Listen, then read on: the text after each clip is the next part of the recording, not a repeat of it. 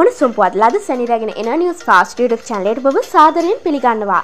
තම සිංගිත දියණියට ආහාර ලබා දෙමින් සිටි 26 හැවිරිදි මවකට හදිසියේ ඇති වූ අසනීප තත්ත්වයක් හේතුවෙන් ආහාර ගනිමින් සිටි දියණියට ආහාර උගුරේ සිරවීමෙන් අවාසනාවන්ත ලෙස ජීවිතක්ෂයට පත් වූ පුවතක් භගවන්තලාව ප්‍රදේශයෙන් වාර්තා වෙනවා.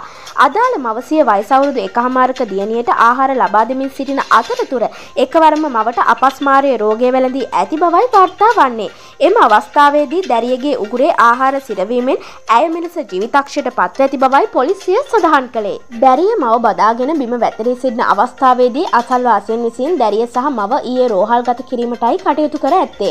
එලෙස රෝහල් ගත කරන අවස්ථාවේදී දැරිය මියගොස් සිට ඇති බව භගවන්තලාව පොලිසිය වැඩිදුරටත් සඳහන් කළා.